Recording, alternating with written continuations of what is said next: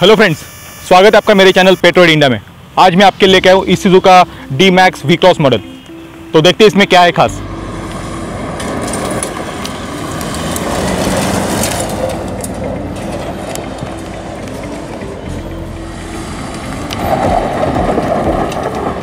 तो I start with his headlights headlights में आपको मिलता है प्रोजेक्टर हेडलाइट जो लो बीम के लिए यूज़ होता है, और रिफ्लेक्टर हेडलैम्प जो होता है हाई बीम के लिए।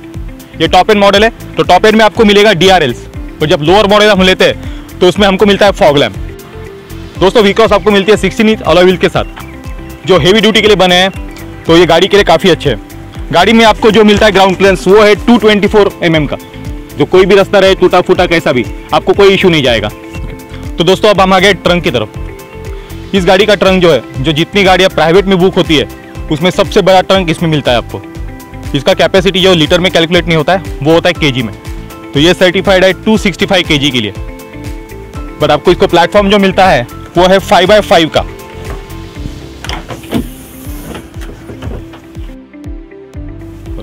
दोस्तों, इसका कैरिंग कैपेसिटी काफ़ी अच्छा है। मेरा वेट है 80 केजी और मैं बैठा हूँ इसके डोर पे तो आप सोच सकते हो, अगर 80 केजी इतना सा एरिया अगर ले सकता है तो पीछे काफ़ी सारी जगह पड़ी है। So it can take more weight so it's nice for your journey and long tours गाड़ी में बहुत सारा आपको स्पेस मिलता है। यहाँ पे ड्राइवर और पैसेंजर के लिए कप होल्डर्स मिलते हैं। वही यहाँ पे कुछ सामान रखना है तो उसके लिए आपको कंपार्टमेंट मिल जाएगा। ये डॉक्यूमेंट्स के लिए कंपार्टमेंट है।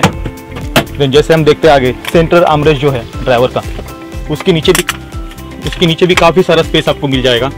वहीं पे बॉटल होल्डर भी आपको मिलता है। देन ड्राइवर साइड में आप देखते हैं नीचे तो वहाँ पे अगर आपको आपका वॉलेट रखना है तो उसके लिए भी जगह मिल जाएगी। फिर डोर कंपार्टमेंट जब आते हैं तो डोर कंपार्टमेंट में बॉटल होल्डर आपको मिल जाता है। दोस्तों वीक्रॉस का टॉप मॉडल तो इसमें आपको काफ़ी अच्छे लेदर सीट्स मिलते हैं। इसमें आपको डबल स्टिच मिलेगा। साथ में इसमें जो बो स्ट्रिंग है, वो काफ़ी अच्छा है। बैक सपोर्ट जो है, वो भी काफ़ी अच्छा है। प्लस थाई सपोर्ट अच्छा है, जो लॉन्ग टर्म में आपको थकने नहीं देगा। प्लस सीट जो है, वो सिक्स वे एडजस्टेबल है। आप ऊपर, नीचे, पीछे, आगे, आपको जिस तरीके से करना है सीट को आप, आपके हिसाब से एडजस्ट कर सकते हो। गाड़ी में मिलता है आपको क्लाइमेट कंट्रोल जो काफ़ी इफ़ेक्टिव है, आपको रेयर साइड में कोई वेंट की ज़रूरत नहीं पड़ेगी। सो इज़ गुड विथ आपको मिलता है छः स्पीकर विथ सराउंड साउंड्स उसका क्वालिटी भी काफ़ी अच्छा है, जो इस गाड़ी को सूटेबल है। गाड़ी में हमको मिलता है टीसीएस और ई ऑफ़ करने का बटन अगर आप ऑफ़ रोडिंग पे जा रहे हो तो ये काफ़ी यूज़फुल रहेगा। अगर आप एंजॉय करना चाहते हो तो इसको स्विच ऑफ़ कर दीजिए and enjoy the off roading और soft roading so it's quite good for off roading car side में ही उसके आपको मिलता है ओ आर एम एडजस्टमेंट के बटन, जिससे आप ओ आर एम ऊपर नीचे या फिर फोल्ड कर सकते हो। आगे की तरह पीछे भी हमको लेदर सीट्स मिलते हैं। जिनका थाई सपोर्ट जो है, वो इनफ है और बैक सपोर्ट अमेजिंग है। तो इसमें भी आपको अगर लॉन्ग टूर पे जा रहे हो तो कोई तकलीफ़ नहीं होगी। साथ में यहाँ पे भी आपको काफ़ी सारी लोड्स ऑफ़ स्पेसेस मिलती है। जैसे आप देखते हैं यहाँ पे तो सीट के पीछे पॉकेट्स मिलते हैं। देन कप होल्डर्स यहाँ मिल जाते हैं। और हम देखते हैं तो फिर से डोर में आपको बॉटल होल्डर्स भी मिल जाता है। पीछे अगर पैसेंजर बेड है तो उनके कंफर्ट के लिए उन्होंने सेंट्रल आर्मरेस्ट भी दिया है। देन पीछे वाले हेडरेस्ट जो है, वो एडजस्टेबल है। आप इसके ऊपर या नीचे कर सकते हैं। गाड़ी में फ्रंट में हमको मिलते हैं ड्यूअल इंडिपेंडेंट विजबन सस्पेंशन जो गाड़ी को काफ़ी अच्छा राइड देते हैं और ऑफ़ में भी काम में आते हैं। दोस्तों, ये गाड़ी जो है, ये ऑफ़ और ख़राब रस्तों को हैंडल करने के लिए बनी है। तो इसमें आपको पीछे में मिलता है सॉफ्ट लिफ्ट स्विंग जो गाड़ी को अच्छी कैपेबिलिटी प्रोवाइड करता है और वेट लोड भी ले सकता है।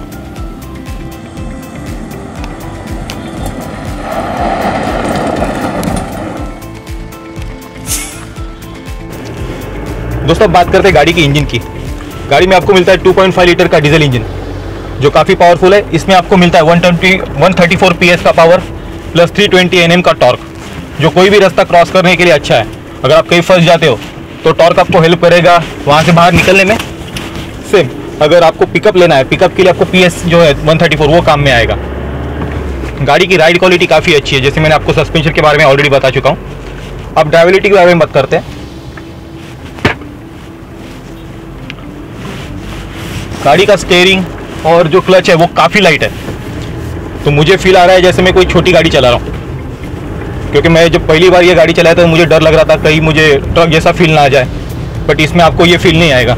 आप आप गाड़ी का साइज़ भूल जाते हो कि आप कौन से साइज़ की गाड़ी चला रहे हो। So it's the best part of this car अगर डीजल इंजन भी है तो आपको उसमें वाइब्रेशन वो नहीं आएगा जो डीजल इंजन में जनरली रहता है। So it's a best car in diesel engine so I suggest you to go for that अगर आप ऑफ़ और इसमें सब इंटरेस्ट रखते हो तो ये आपके लिए बेस्ट गाड़ी है।